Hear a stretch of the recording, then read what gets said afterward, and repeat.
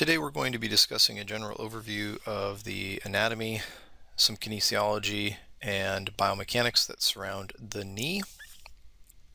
Before we dive into the material, just a reminder that this material is to be used for educational purposes only and does fall under fair use consideration. The references for today come from these sources, uh, Mike Reiman's Orthopedic Clinical Examination, uh, Neumann and Oatis for much of the kinesiology information, Dutton and Magee to complement some of the orthopedic considerations, Moore and Dalley's clinically oriented anatomy, and then finally Josh Cleland's Netter's orthopedic clinical examination.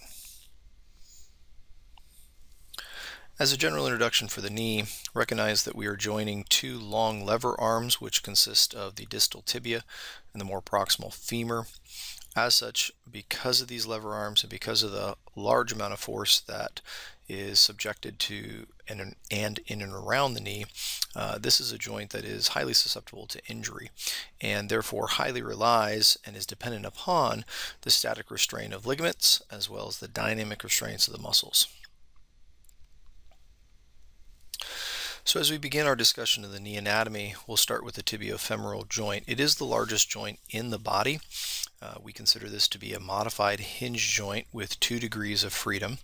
We have two condyles on the femur, both medial and lateral, and an intercondylar notch that exists which allows for the proximal attachment of the anterior cruciate ligament and the posterior cruciate ligament that are found within the notch. Additionally, we also find the posterior meniscofemoral ligament uh, within this location as well. The tibia consists of two plateaus that is separated by the intercondylar eminence where we find the distal attachment of the ACL and PCL. The tibial plateaus are concave while the femur is convex, which is a concept that will contribute to our understanding of the biomechanics of the knee with both open and closed chain knee flexion and extension, as well as a mechanism known as the screw home mechanism. Considering these plateaus, the medial plateau does have a greater surface area than the lateral plateau, and it is also three times thicker. Uh, this accounts for the increased forces that we see displaced through the medial compartment. And finally, the concavity of the plateaus is increased by the menisci. Much like we see in other joints of the body, the fibrocartilage serves to deepen and enhance the congruency between the convex femoral condyles and the more concave tibial plateaus. This also helps to dissipate force, to attenuate shock, and overall increase kind of the static uh, stability of this joint. If we look from now a lateral cross section, we can start to appreciate some of the various anatomical structures in and around the joint. Uh, specifically, we can appreciate the synovial membranes. The lateral meniscus is visualized on this cross section. We can appreciate where the patella sits in its more proximal location in a knee extension uh, position. We'll talk about how the patella will glide inferior as the knee flexes. Additionally, we can see the suprapatellar fat body or fat pad, as well as the infrapatellar fat pad. Additionally, this allows us to visualize some of the synovial space uh, and the compartment being found within the intra-articular space. It's also a nice visualization of the articular cartilage that exists at the end of the long bones.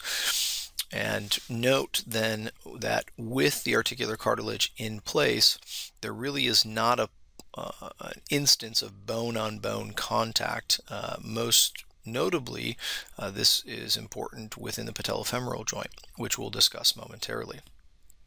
Interestingly enough, uh, Scott and Chris Dye, along with Jeff uh, Vaupel, uh, completed a study um, in the late 90s, 1998, where they went in and performed conscious neurosensory mapping of the internal structures of the human knee. And so they used a local uh, anesthetic, but then did not use anesthesia. And while they were probing with a blunt object uh, the internal structures of the human knee, they rated it on a 0 to 4 Likert scale. 0 being there really was no sensation, um, they were not aware of it, all the way to 4 being severe pain. And these are shaded in various colors uh, with the graphic above. What's interesting with this is one of the most highly um, uh, pain inducing or um, uh, uncomfortable uh, structures within the knee was the infrapatellar fat pad. And this has great implication when we begin to consider uh, the pathophysiology of patellofemoral pain syndrome, um, the pathophysiology of also known as jumper's knee, um, and, and overarchingly anterior knee pain from the most broad sense. And so it oftentimes uh, may be implicated, that being the infrapatellar fat pad, but we do not see as much of a uh, anatomical um, uh, contribution uh, from some of the surrounding structures. And so in these scenarios, it oftentimes is a process of desensitizing um, and mitigating load and tolerance to that load for the patient. As we look at another uh, view, this would be of the knee in a flexed posture um, on a on a uh, fixed or stable distal tibia. We can begin to appreciate not only the surface area of the distal femoral condyles, but also uh, height and uh, angular orientation. But first, let's talk about kind of the resting position of the joint. It is approximately 25 degrees of flexion. Uh, some sources will note that the resting position lies somewhere between 30 to 60 degrees of flexion. Uh, once you move either beyond that into flexion or extension, capsular ligaments and other structures do begin to uh, increase more or less uh, the amount of congruency between the joint surfaces and so you will begin to move into a closed pack position. The capsular pattern is flexion followed by extension. Uh, when we look at the lateral condyle, then it is in line with the femoral shaft. The anterior surface does bulge further forward, and the reason for that is to provide a static restraint to the patella. The medial condyle does have more vertical height from a superior to inferior orientation, and the anterior surface does not bulge forward, and so it is a shorter surface than that lateral condyle. And so if we look then at this image, you can begin to appreciate there's a slight angulation variation from 10 degrees on the lateral side to 25 degrees on the medial side, but there is a 10 degree uh, change in terms of the prominence of that lateral uh, femoral condyle. And again, that lateral femoral condyle has that increased height and anterior bulge to provide a static restraint to the patella. As we now begin to consider the muscles of the knee, the big muscle on the anterior portion of the femur is our quadriceps, which consists of our vastus lateralis, intermedius, uh, medialis, otherwise known as the VMO, and then rectus femoris. As we look at the hamstring group, here we find the semimembranosus and, some, and semitendinosus, as well as the biceps femoris, consisting of both a long head and a short head. The gastrocnemius is part of the knee as it is a two joint muscle with the lateral and medial heads inserting proximal to the tibiofemoral joint. The popliteus is also implicated here, as well as our hip adductors on the more medial side, um, and then finally the TFL acting through the distal insertion of the ITB on the lateral side of the knee.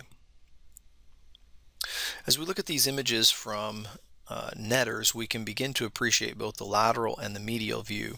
Several things to take note of are where some of these muscles uh, and tendons and ligaments are inserting. For example, here we can see the iliotibial tract crossing the knee joint and inserting uh, just lateral and proximal uh, to the tibial tuberosity.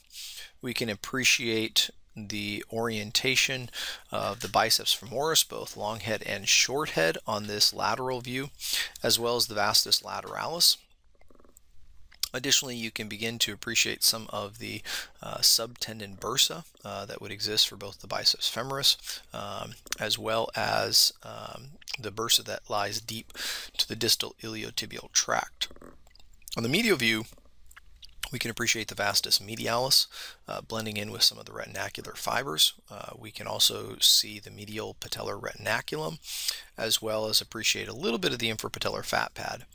Additionally, we can note the insertion of the sartorius, uh, the gracilis, as well as the semitendinosus. Um, all three of those will come down and insert uh, on the pes anserine. And then we also get a nice visualization of the medial gastroc as well as the uh, soleus lying deep to that.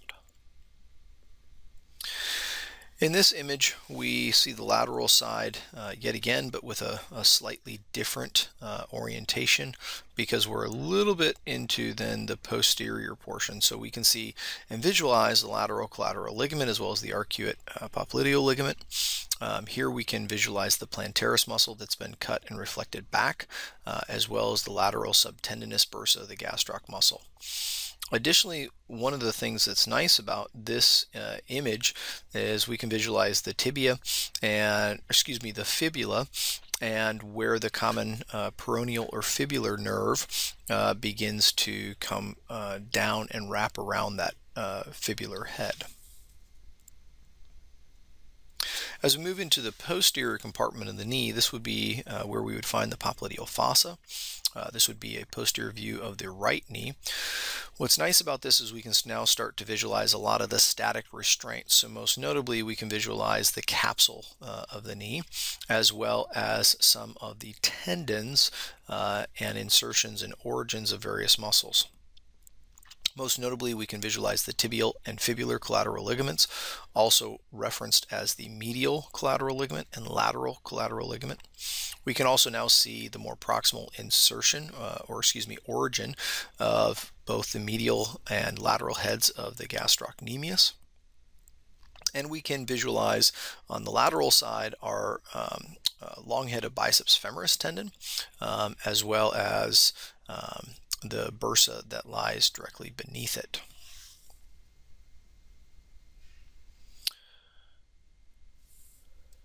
Note some of our reinforcements um, to the joint capsule.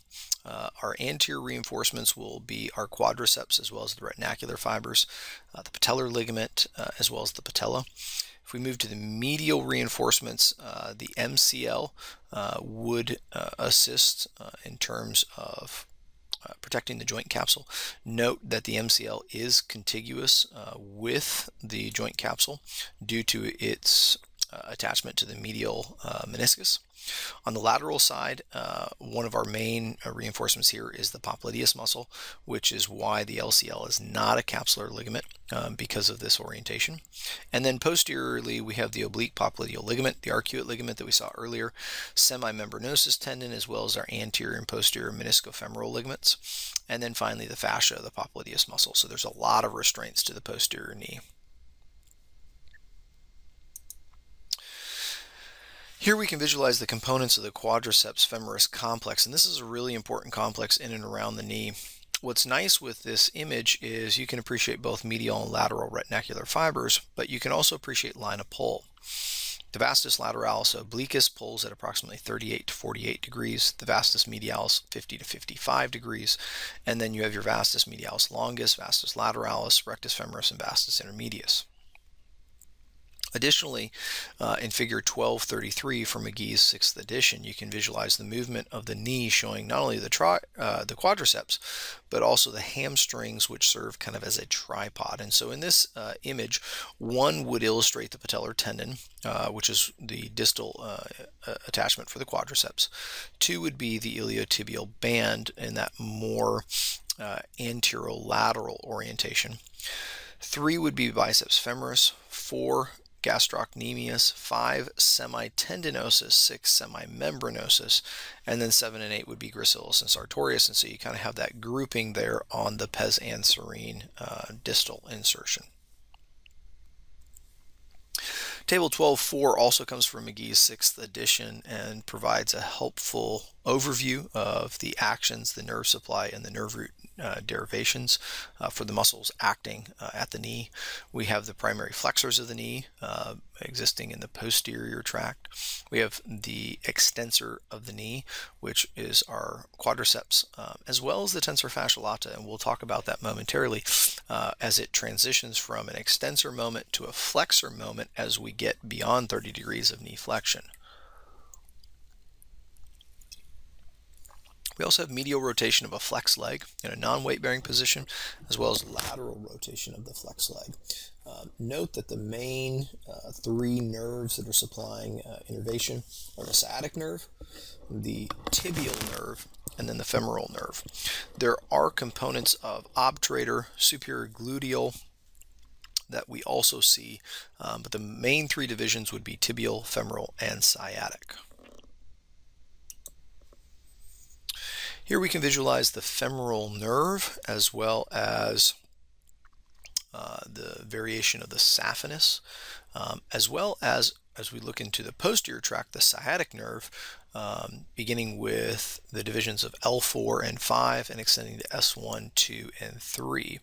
Additionally, we can visualize the decussation that occurs just proximal to the popliteal fossa, where the sciatic nerve branches into the common uh, fibular, or also referred to as peroneal nerve, as well as the tibial nerve. The tibial nerve is going to continue uh, to progress further uh, and will innervate and, and provide branches into uh, the sural nerve, as well as the medial sural cutaneous nerve.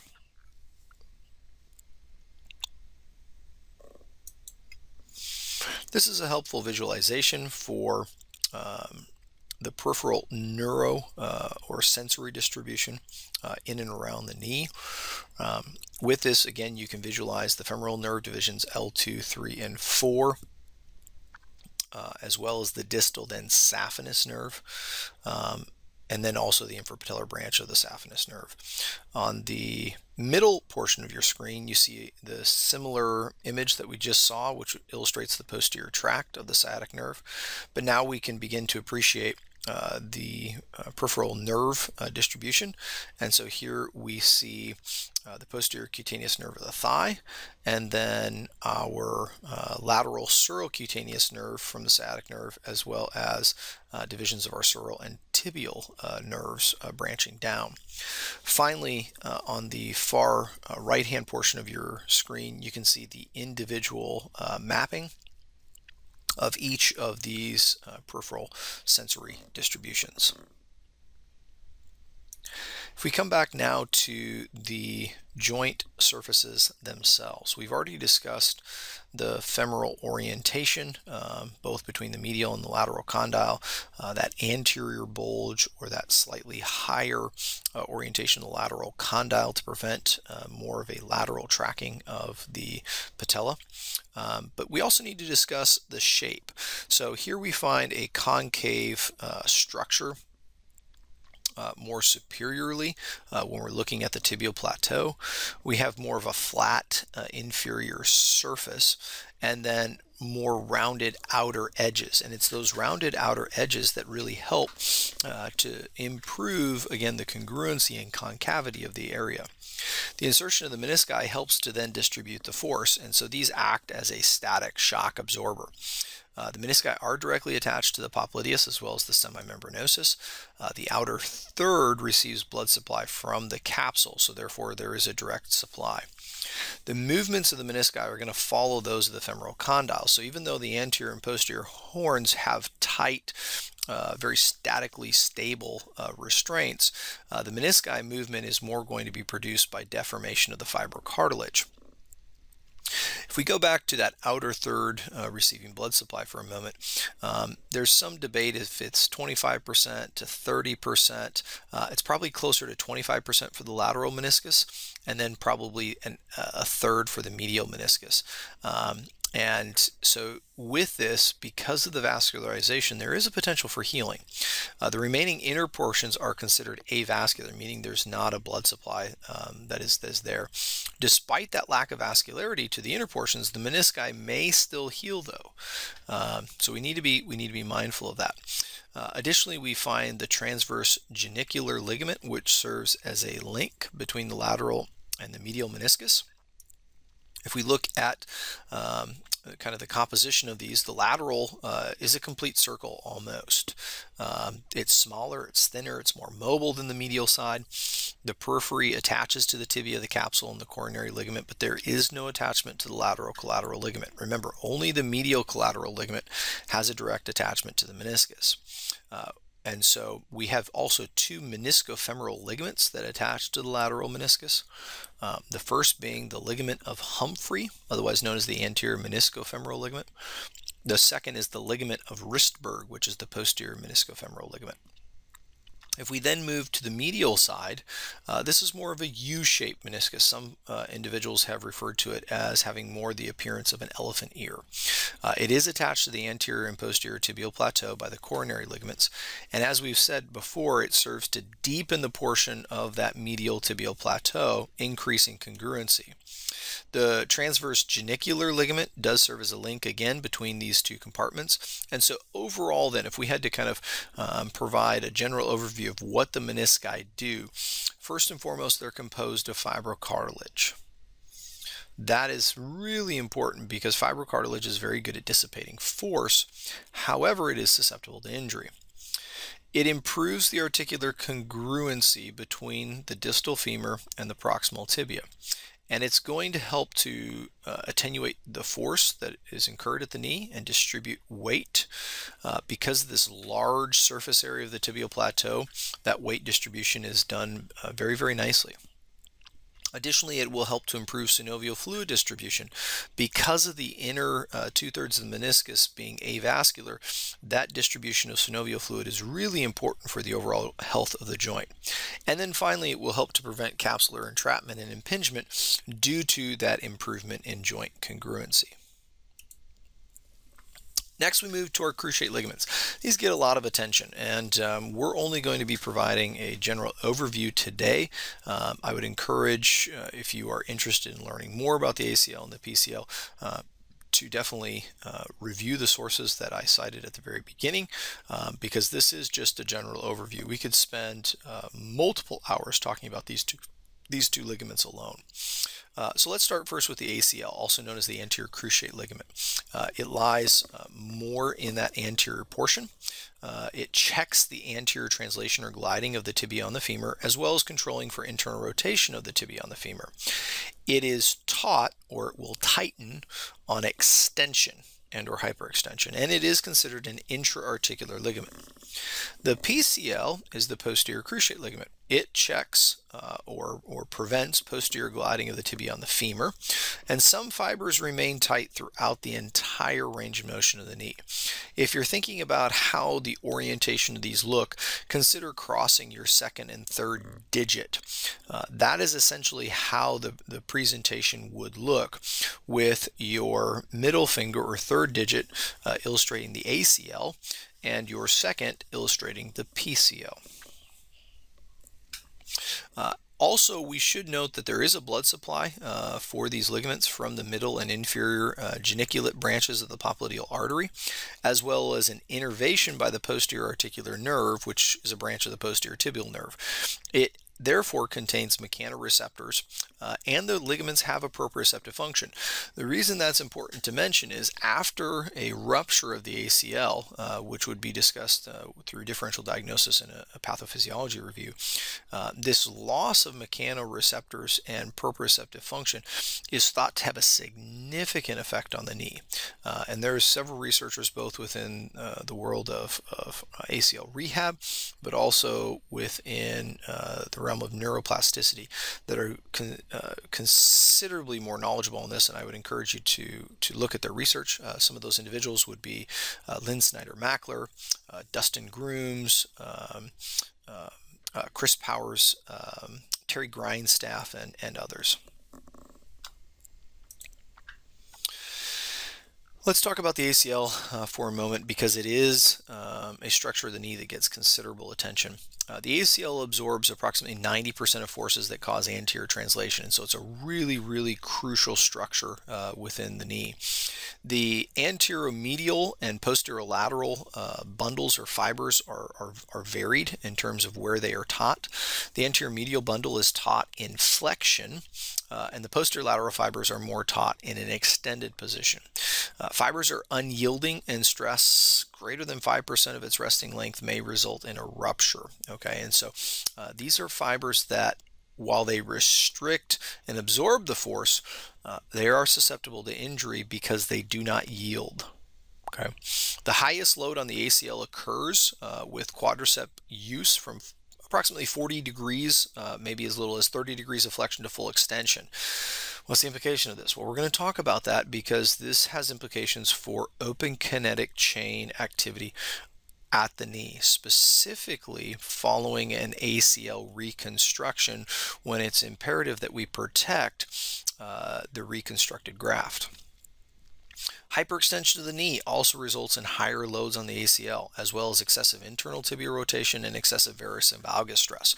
So if we think of, of how the mechanism of injury typically plays out for the ACL, it typically is valgus in excess, excessive internal tibial rotation, and either excessive hyperextension or flexion of the knee.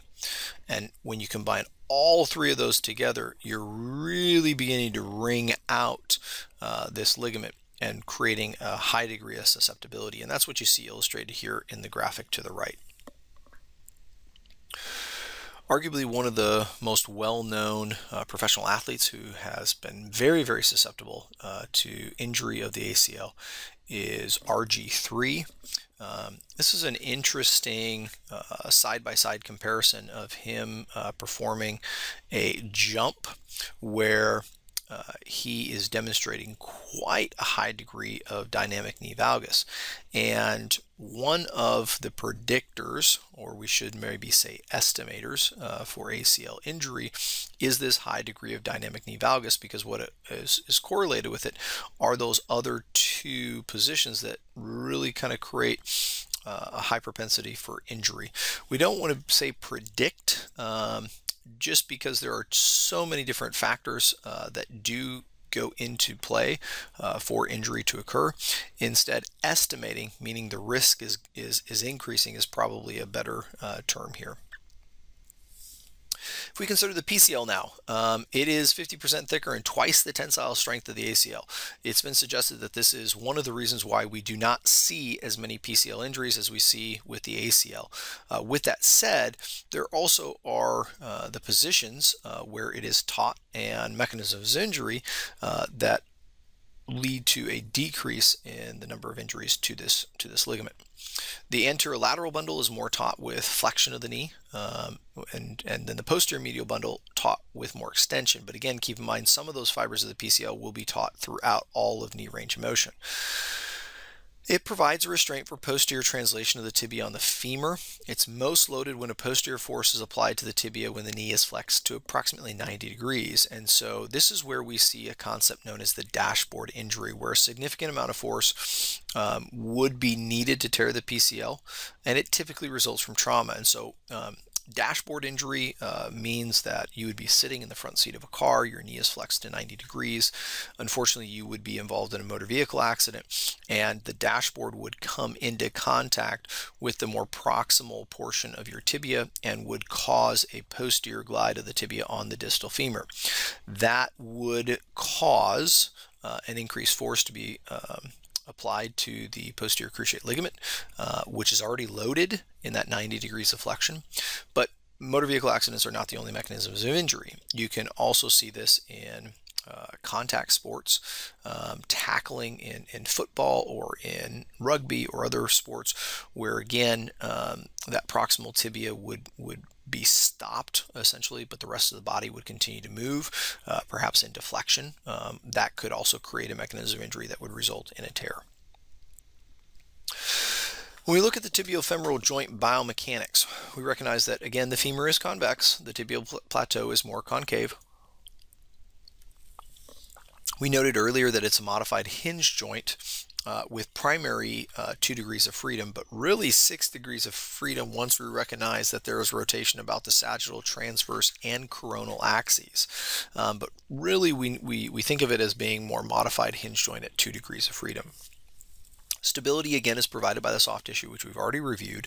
Um, there is little inherent stability of the joint without that soft tissue right? So we have to have the static restraints of the capsule, the ligament, the menisci, as well as the dynamic restraints of the quads, hamstrings, and triceps surae. A secondary stability uh, due to the muscle is not near as effective as your intact ligamentous stability, which is why oftentimes we see individuals have the ACL reconstructed or have meniscal uh, arthroscopic surgery performed in order to, again, enhance and, and provide that stability. While we're speaking of static stabilizers, we also need to talk about the medial and lateral collateral ligaments, also known as the uh, tibial and fibular collateral ligaments. The medial MCL is an extra-articular ligament. Develops as a thickening of the medial joint capsule, and so it is uh, continuous with the uh, joint capsule through the, the medial meniscus. The superficial band is thick and flat. Uh, the deep band is a continuation then of the capsule and blends with the meniscus, and it protects against a valgus force. The lateral or fibular collateral ligament arises from the lateral femoral condyle and inserts into the head of the fibula. It's very cord-like and remains free of the joint capsule and the lateral meniscus. It resists more of a varus and particularly from approximately 25 degrees of flexion into full extension. The joint mechanics of the tibiofemoral joint um, are rolling, gliding, as well as rotation. The movements occur simultaneously uh, to maintain joint congruency throughout the range of motion. As we consider knee flexion, the femur rolls posterior and will glide anterior. During knee extension, the femur rolls anterior and glides posterior. And the last five degrees of extension rotation also does occur, and this is what is known as the screw home mechanism. This exists because of the geometry of the menisci, the tension of the surrounding static ligamentous structures, as well as action of muscle, so consider line of pull. If we consider the tibia to be fixed, uh, the screw home mechanism occurs with medial rotation of the femur on a stable tibia. What's the norm for range of motion about the knee? Uh, recognize that patient-specific factors will vary this. Um, for example, we'll talk about in and out of a bath. The structure of the bath also varies. Is this an older bath that has a higher tub wall? Uh, is this a shower? Is this one of the newer baths that actually has a door where you can step into? Obviously, that would de demand a very different range of motion. So these are these are these are ranges um, and and averages, uh, so take them with a grain of salt. For gait during the stance phase, you need approximately 20 degrees of knee flexion, give or take. For swing phase, you need approximately 60 degrees. So functional for gait, you really need less than 90. For stairs, uh, if we're considering a reciprocal pattern of gait, 90 to 100 degrees of flexion is needed for sitting and rising from a chair. We do have to consider chair height, right? Uh, for a standard chair, approximately 90 degrees, but if a lower seat height is present, that may increase up to 110 or even 120 degrees. Again, in and out of a bath, highly dependent upon what our definition of bath is here, but could be as high as 130 degrees or as low as 110, maybe even as low as 90. And then to perform a full deep squat. Uh, this would be essentially bringing the glutes all the way to the heels, um, kind of that squat position that we think of with infants or toddlers. You need quite a bit, 150 to 160 degrees of range of motion. Next, we're going to talk about the patellofemoral joint. It's a modified plane joint. Uh, we have a lateral articular surface of the patella that's a little bit wider. Uh, it does contain the thickest layer of cartilage in the body. There is just a ton of fibrocartilage on the back of the patella. Interestingly enough, when I have watched uh, orthopedic uh, surgery, uh, most notably total knee arthroplasty, um, the, the posterior portion of the patella typically looks quite good, even if uh, the articular cartilage of the medial and lateral compartments of the knee is more deformed and degenerative. Uh, and so um, the patellofemoral joint actually maintains a fair amount of, of uh, cartilaginous uh, protection. It's considered a sesamoid bone, and its purpose is really to provide the articulation uh, with uh, the tibiofemoral joint to protect the distal femur and protect the quad, and then finally to improve the moment arm of the quad. It acts as a pulley, and we'll see that um, momentarily.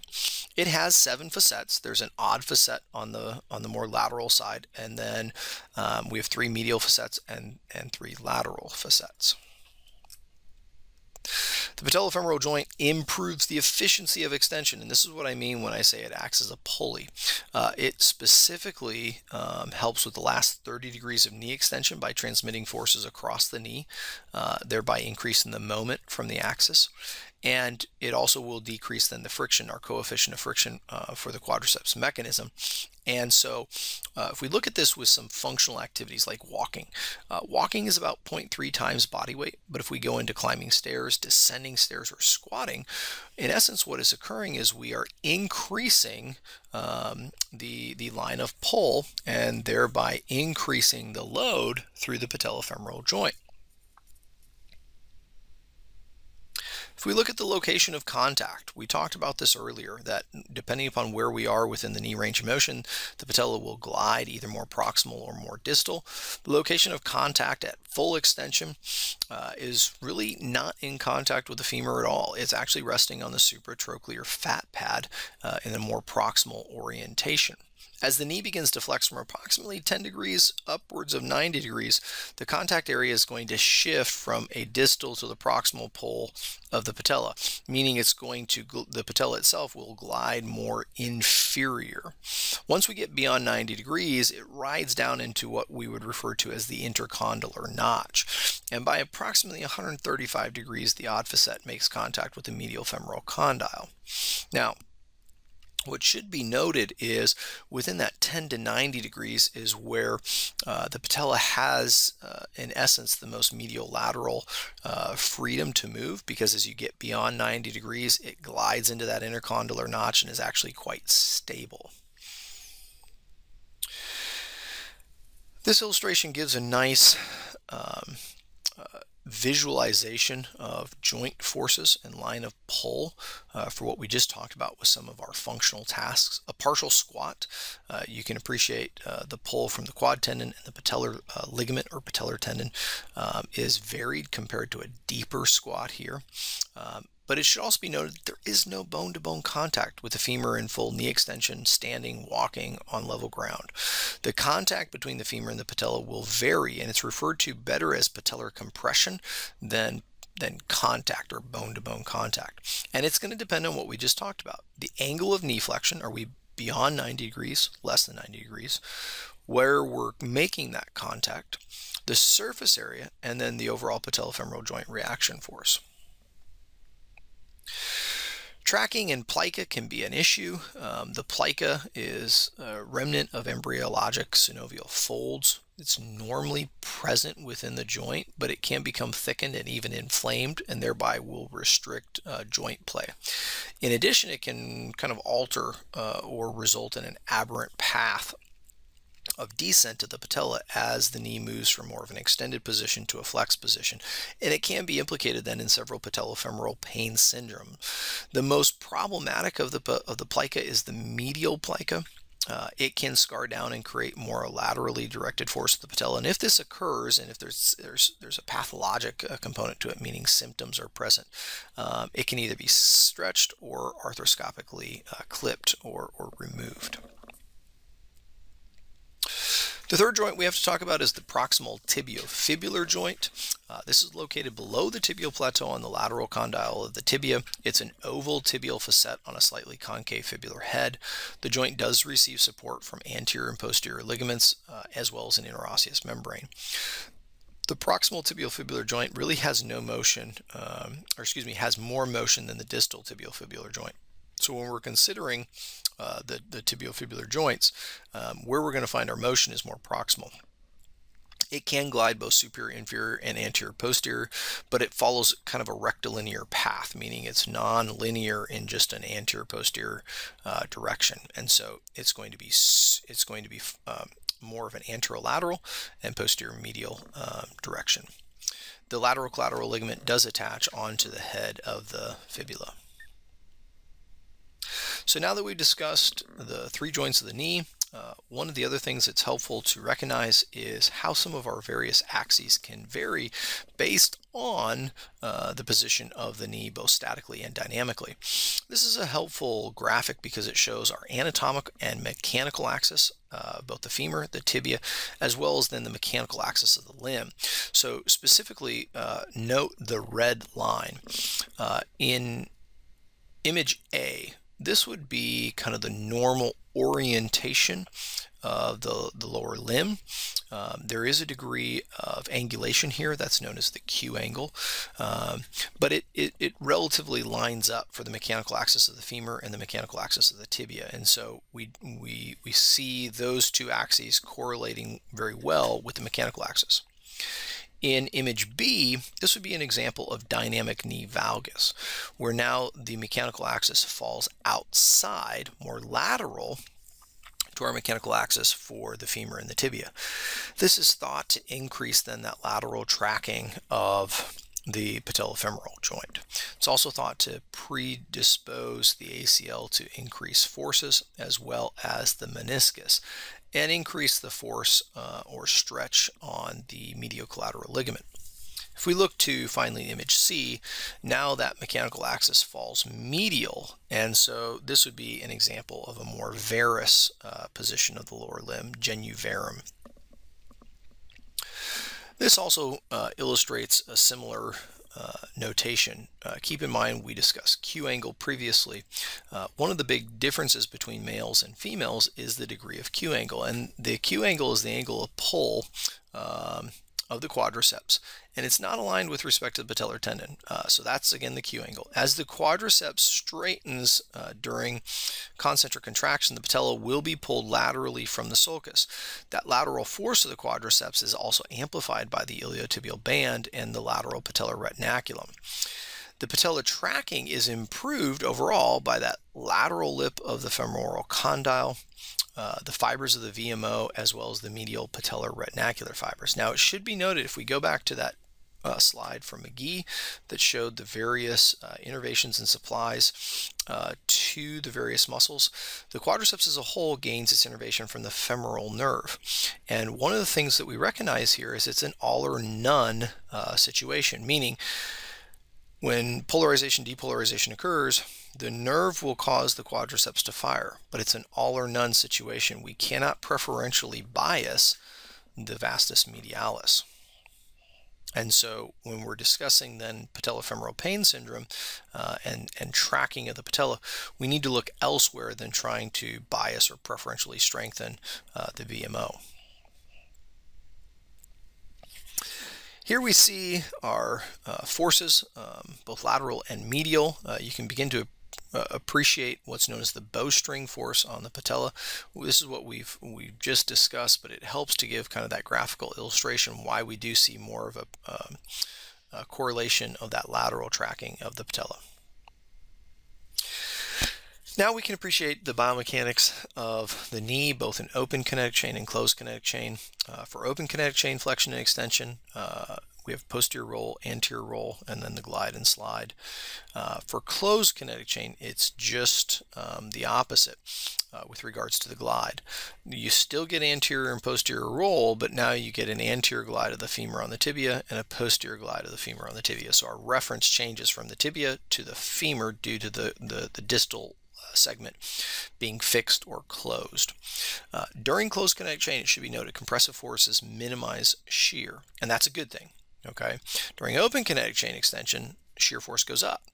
So the research suggests that an increase in stress on the ACL with open kinetic chain, specifically from approximately 25 to 30 degrees, uh, does exist.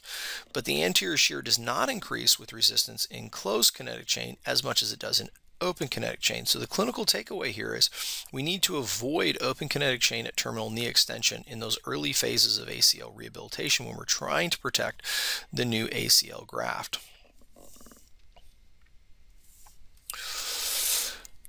When we consider Q angle, um, one of the things that should be noted is how we would actually make that measurement. Um, it's formed uh, from a line that's drawn from the ASIS to the center of the patella and then down um, uh, to the center uh, of the tibial tubercle.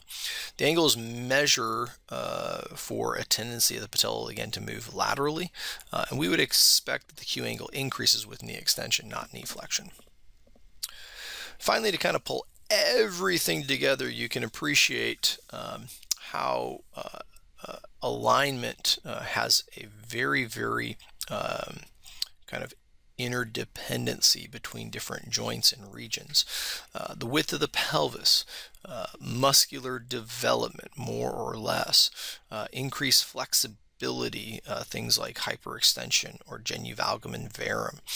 Uh, the degree of the, the femoral notch, is there a more narrow femoral notch, a more wider femoral notch? Uh, the excess of Q angle and even excessive lateral force.